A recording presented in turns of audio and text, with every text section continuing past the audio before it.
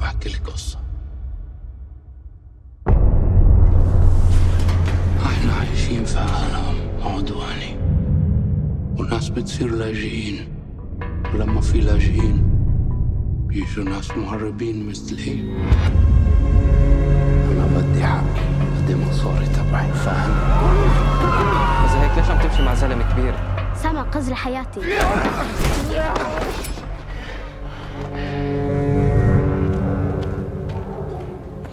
كيف طلع بالرحلة لحالك؟ وين أهلك؟ كنا بدنا نروح على السويد وبعدين ضيعتهم.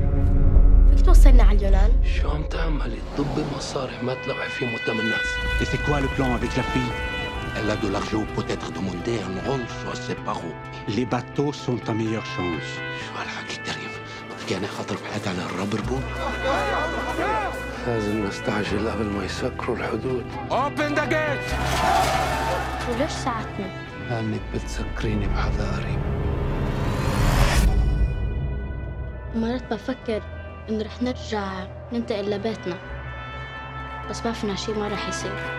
أنا أقوى منك أنا مش خايفة منك أنا رح أركب البوت. رح أركبه.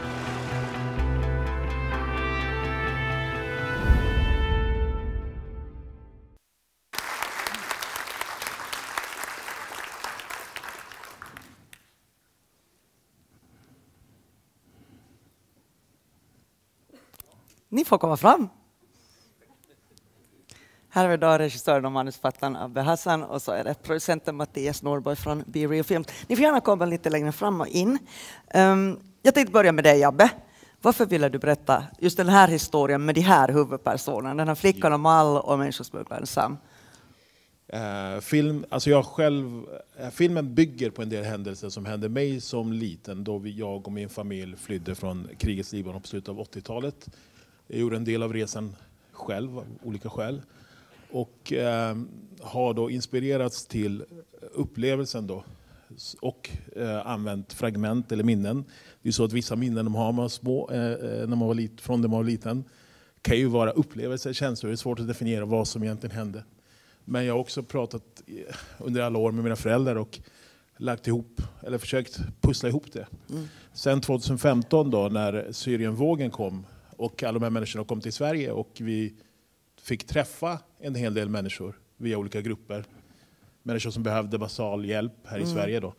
Eh, så kunde jag inte låta bli och när jag träffade de här människorna så var, kände jag att jag hade ett ansvar att berätta den här historien. Och, och, och, och du sa att du har träffat många människor. Alltså det känns otroligt realistiskt i alla de här detaljerna. Det, vare sig det är liksom ett bröllop på en flyktingförläggning eller hur det är att åka gummibåt över Medelhavet. Så vilken sorts research har du gjort då, förutom att du har pratat med de här människorna? Ja, alltså vi, jag skrev manuset tillsammans med Kristoffer Kras och 2015-16 eh, så var det fortfarande en pågående, ett pågående krig och konflikt. Så vi läste allt som fanns då, eller så vi kunde komma åt i form av rapporter till olika hjälporganisationer, till artiklar och de artiklar, eller reportage och dokumentärer som kom ut. Men den här eh, flykten från Syrien har varit extremt väl dokumenterad av de som har flytt. Alla har smartphones. Så alla har varit väldigt, många har varit väldigt duktiga på att filma sina steg som att de vill att, eh, spara dokument för folk att se med en förhoppning om att den här historien inte ska behöva återupprepas som den ändå tyvärr gör och fortfarande gör igen med bland annat Ukraina och andra ställen. Så tyvärr så har det funnits för mycket material och jag har absolut inte kunnat kolla på allt. Liksom. Det, det går inte, det blir för jobbigt. Mattias, eh, i, i filmen så rör vi oss ju genom flera platser i Europa och det är också ganska mycket scener med många statister.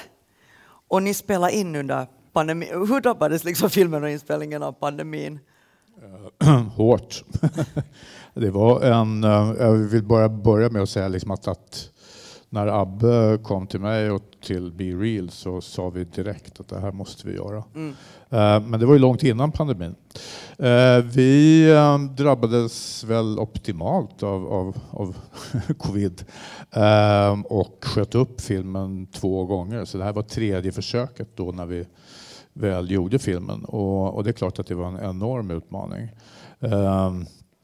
Eh, filmen blev ju ett år försenad.